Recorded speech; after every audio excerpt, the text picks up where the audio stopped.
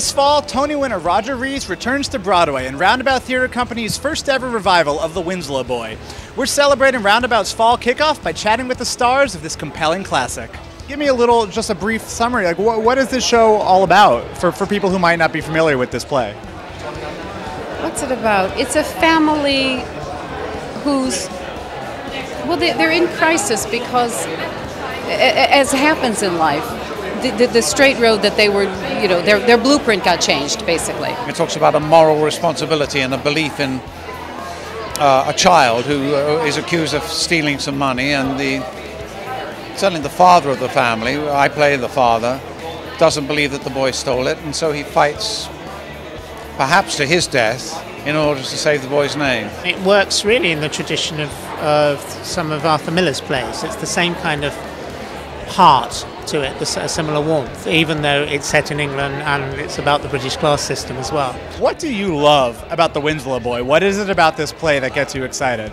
Oh, I, have seen this play a lot in, in Great Britain. It's um, a staple of uh, repertory companies, and uh, it's a beloved play written in 1947 about an incident that took place in 1913.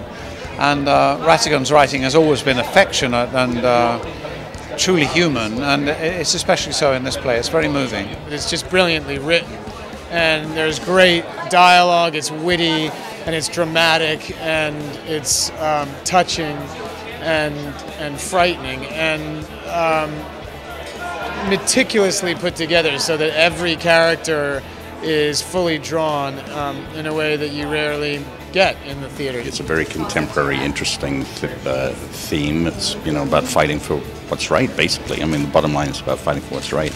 It's very compelling. Having lived in England for years, I'm quite familiar, as familiar I think as a foreigner can be, with what the place speaks to and, and, the, and, the, and the characters that Rattigan so beautifully has drawn. And for a man who never had a family, was not married, and all, I'm really struck by his intuitiveness. I really am. The play alternates between very sort of delicate and, and subtle uh, explorations of relationships to big, dramatic, kind of almost like courtroom theatrics at other times. And so it, it has a, a, variety in that sense. It's a production that uh, has been celebrated and people were excited about in England. I think they will be here too.